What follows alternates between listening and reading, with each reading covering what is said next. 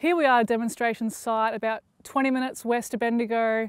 This is Anywhere Tall Fescue. So this was sown 30th of May 2022. So we're looking at about two and a half, three months growth here. Anywhere is a Mediterranean type, so it's winter active, so you're going to see most of its growth over the winter period.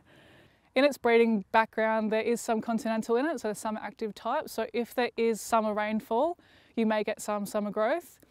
Um, so you're going to have no toxicity issues with anywhere tall fescue, so it is safe to graze uh, sheep, beef, dairy, uh, even horses and alpacas.